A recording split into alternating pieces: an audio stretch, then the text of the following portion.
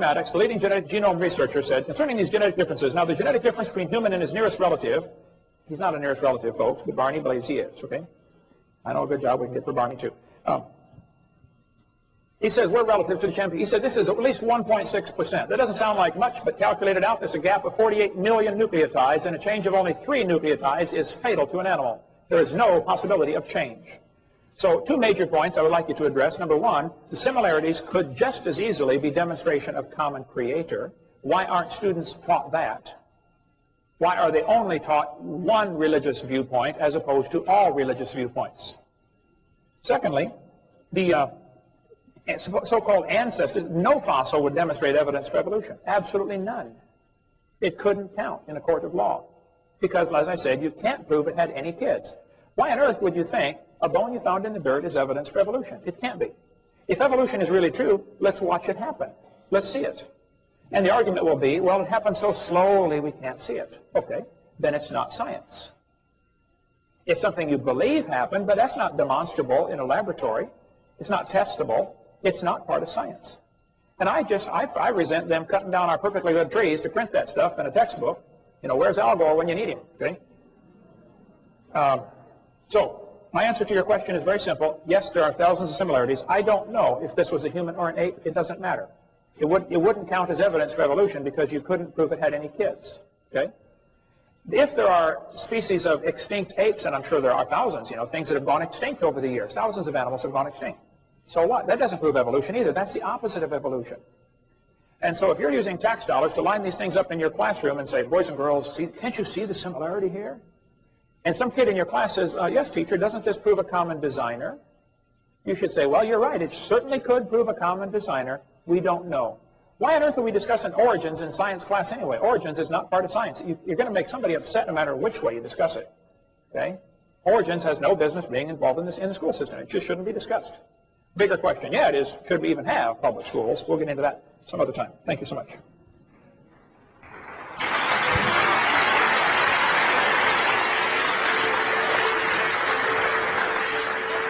The second question that we want to present to our debaters is what is the origin and the age of the universe and what is your method of determining it? And uh, Dr. Uh, Waggoner, you will have uh, 17 minutes, and uh, Dr. Hovind, you will have 10. Sorry, this will take a second to get my um, monitor uh, working again. Well, I think I can, uh, let's see here. Uh, well, I think I can assure both uh, you, Dr. Hovind, and um, everyone here uh, that I will never again teach uh, about Nebraska Man and Piltdown Man. those are permanently out of my lecture notes for all time. Um, thank you.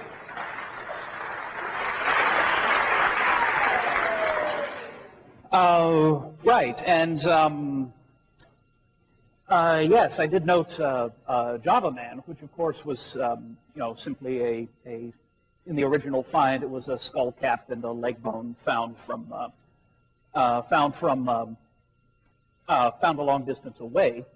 Um, I do hope you will allow me to mention the Sangiran 2 skull, which turned up in the, I don't remember the exact date, I believe it was in the 1980s, uh, which is basically a skull with most of the face uh, still present.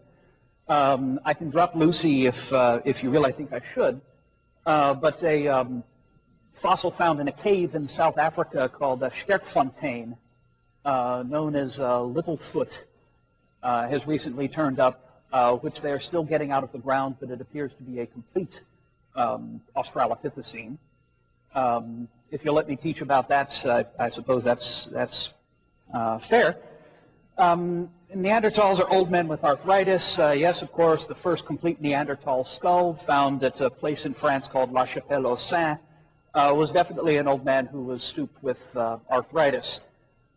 Uh, the uh, the baby Neanderthal skeletons that have turned up at a few locations in Europe probably weren't, but I won't teach about those if you'd rather I not. I certainly don't want to upset, um, upset anybody. Oh, incidentally, uh, this is um, uh, a reconstruction of the skull of Peking Man. And you did mention that all ed- evidence had uh, disappeared, so I guess I won't uh, teach about uh, Peking Man, except uh, the location was reopened in the 1970s. More bones have been found, and very similar bones to this have turned up elsewhere. Uh, so if um, uh, Arkansas law does not allow me to teach Peking Man, maybe it will allow me to teach about Yunxian Man, for instance, uh, which is a, a substantially complete uh, skull. Uh, so thank you for giving such an excellent, um, excellent, excellent answer to, to my uh, my question.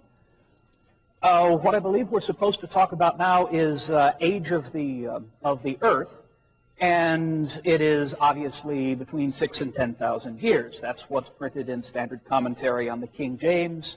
Six thousand plus a little bit was the age arrived at by um, uh, by an Irish Archbishop, uh, Archbishop Ussher of Armagh, doing the calculations back in the 1500s. And I really don't want even to attempt to defend the idea that the Earth could possibly be old. Uh, what I do have again is another um, an, another question that's been been troubling me uh, a, a, great deal. Uh, that comes from time that I've spent going out into the Mojave Desert of um, uh, southern Nevada and uh, southeastern California. Yes, the largest city in the Mojave Desert is Las Vegas. Uh, but there's um, uh, there's nothing wrong with Las Vegas that couldn't be cured with a nice little fire and brimstone shower, if you ask me. Everything you've heard is true, but the surrounding regions are uh, quite nice. And uh, this right here is uh, Owens Lake, California, just outside the small town of Independence, as seen from the um, that's probably the Inyo Mountains in the foreground with the Sierra Nevada in the background. By the way, the Inyo Mountains have a uh, very steep uh, slope uh, that's nearly vertical uh, that's um, affectionately known as the Inyo Face. Thanks. It was, it was a sympathy laugh, but I appreciate it anyhow. Right. Owens Lake used to be a lake. and there used to be water in it. There used to be steamboat service across the lake, freighting uh, silver that was coming from the mines up in the mountains down to uh, the nearest town of uh, Independence, California. Owens Lake, unfortunately, dried up in the early 1900s. Uh, Los Angeles, the city, bought the rights to all of the streams and the springs that flowed into Owens Lake and kept it moist. Those have all been diverted into an aqueduct. And Owens Lake is now Owens Dry Lake, and it's visible as that white patch off in the, uh, in the distance. There is no more water except for a few days after the occasional rainstorm.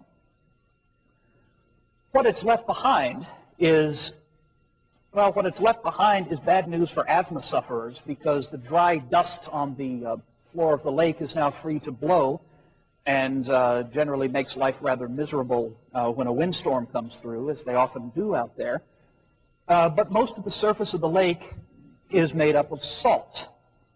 When you get a lake that uh, is cut off from uh, flowing out to, um, uh, to another source, be it another lake or the ocean, uh, when that happens, there's nowhere for the water to go but through evaporation, leaving salt behind. So a lake that cannot flow out will become increasingly salty, as we've seen happen in uh, the Dead Sea, for example, which has no outlet to, uh, to the ocean. If you were to drive maybe 75, 100 miles, uh, you would come to a location called Badwater, uh, which happens to be uh, 279 feet below sea level. So I can say that visiting there was uh, definitely the low point of my career. It's the lowest spot in the Western Hemisphere. And it's what's left of another dried up desert lake. Uh, we know this because, um, well, it was dry when uh, Europeans came through. But if memory serves, there have been some Native American artifacts that have been found on the shores uh, that include things like fish hooks and fish traps and things of that sort. So we know that there were people there at a time when Badwater was still an isolated uh, lake. And it apparently has grown extremely salty, saltier and saltier. The water has left. And we end up with a flat valley that is completely crusted with salt. That looks like snow. It isn't.